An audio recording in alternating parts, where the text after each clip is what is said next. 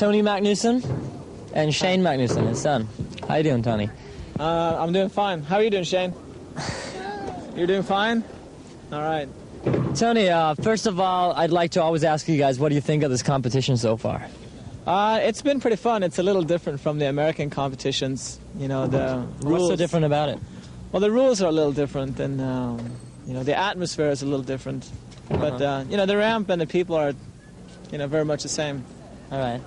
Ich habe den Toni äh, gefragt, was er einfach von dem Wettbewerb hält hier. Das ist einfach eine Frage, die mich interessiert. Er sagt, es ist ein bisschen andere Atmosphäre, allgemein so ein bisschen andere Regeln hier als in Amerika. Aber die Rampe und die Leute, die hier fahren, das ist halt wie immer dann das Gleiche.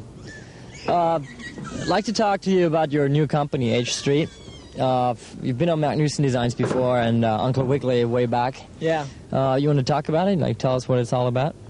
Yeah, H Street is just a new company that we started so that uh, more riders can ride for us, and uh, you know, it's just what I do when I don't skate. You know, I I'm always interested in business, so and I want to run a good skateboard company. You know, being as big as you know Santa Cruz or Powell or anybody else. And Since when have you had the company? only six months now.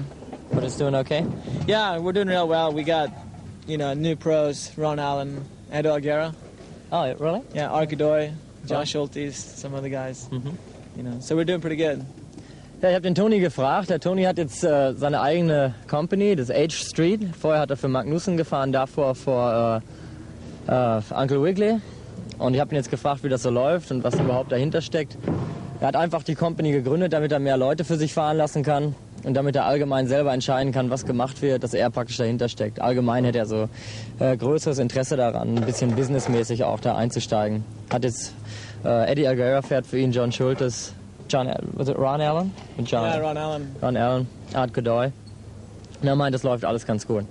Uh, well, Tony, you were born in Sweden. You were also raised in Sweden, and you were Yeah. a skate star in Sweden Yeah. a long time ago. Then you moved to America. Was that like a big step for you? Yeah, I was, but I didn't think about it at the time. I was 16, and I thought I was just going to go there for fun and for vacation for three months. And I stayed for three months, then came back and just stayed. You know, so I heard you were like sleeping in the parking lot of Del Mar all the time in a car or something. Is yeah, we bought a car and we traveled all around, and we slept in the car. And you know, back then, Big O and uh, all the Yeah. skate parks, Marina, we'd go to skate park and stay for a few days, skate, live in the car.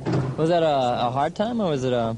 I don't know. Is it something you look? You know, if you think about it, it's like, oh, No, that I- was good times or something. No, I look back at it with, uh, you know, good, they were good times. You know, really fun. right. You know, it was it was hard, but we were kids. You know, we didn't think about that it was hard then because all we wanted to do was skate. You know, so Right. it was it was really fun.